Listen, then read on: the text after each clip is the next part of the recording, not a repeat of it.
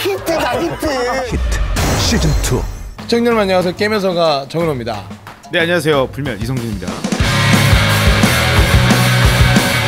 네, 오늘도 엄청난 경기가 나왔어요 오늘 좀 화끈했어요. 저번 주차보다 갈수록 좀 가- 뭔가 발전되고 뭔가 약간 긴장감이 좀 느껴지는 그런 오늘 2주차였습니다. 긴장은 당신이 한 것 같은데요 아우 예, 좀네 하죠. 전국 옥타로 협회 그리고 어비스와 경기가 있었는데요 어, 양팀 모두 다 그동안에 좀 경험적인 측면이 좀 약한 팀이어서 그렇죠. 과연 어떤 경기가 나올까 많은 팬 여러분들이 좀 기대를 했습니다 그리고 중요한 건 호타루의 등장이 될 것이냐 그렇죠. 이제 근캐하면은 보통 이제 히카루도 호타루 이런 아, 히- 히카루도 카를로스. 카를로스 이런 여기 유가 많이 나오고 호타루는 거의 찾아보기 힘든데 오늘 또 히- 호타루 장인이 나와서 또 2대 1로 승리를 가져가면서 4강에 진출했죠. 어떻게 보면 양 팀 모두 다좀 잔잔한 실수들이 좀 많이 나와서 경기가 좀 역전이 많이 나오기도 했었는데 그 와중에 오늘의 정말 에이스라면 황석범이었죠.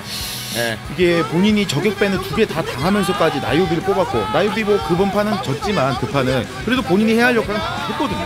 중요할 때마다 그 싱크로 상대 근디를 묶어내면서 어, 위험했던 팀의 어떤 위기를 구원해냈습니다. 극복해냈고요. 그러면서 오늘 또 MVP로 또 황석범이 그렇죠. 예, 아주 LG 모니터의 주인공이 됐습니다. 이게 본인이 8강의 문턱을 이제 넘어가는 게 굉장히 힘들었다라고 하는데 오늘 4강에 진출했고 앞으로 이제 뭐 준결승 이제 결승까지 이제 포부를 밝혔거든요. 이제 앞으로가 기대되는 선수죠.